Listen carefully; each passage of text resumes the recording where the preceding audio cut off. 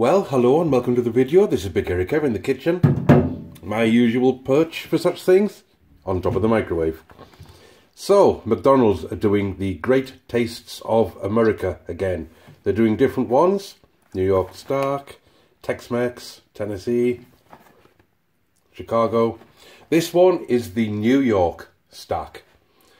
Available from the 2nd to the 15th. I think it's the 15th today, last day. So let's have a look. Remove my cup. Move the back. It looks very nice. Oh, there's some escapee bacon. Mm. Okay, so what do you get? Well, it's in a bagel, topped with sesame seeds and poppy seeds. Very nice. You get the two uh, two burgers. Oh, there's a gherkin. Hmm.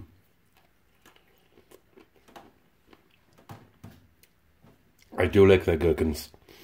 Um, two of their burgers, which are 100% British and Irish beef. You get bacon. There's cheese on there as well. You get coleslaw. What else? Lettuce.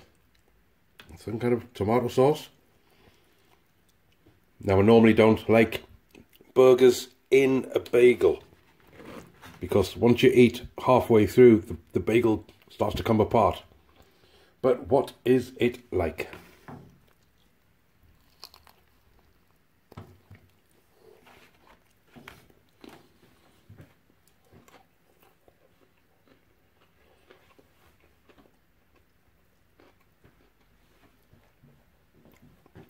Very nice.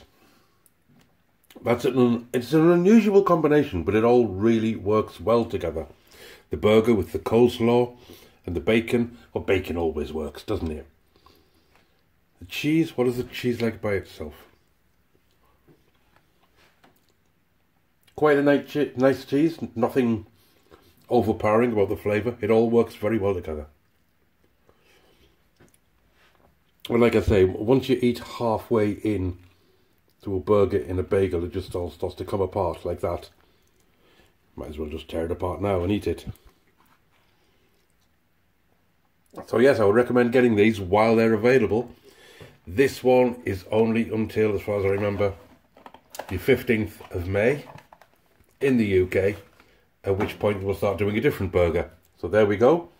The McDonald's Great Tastes of America, available in the UK. In the meantime, thank you very much for watching. Please like the video, subscribe for daily content, share to your social media, and I will see you in the next one.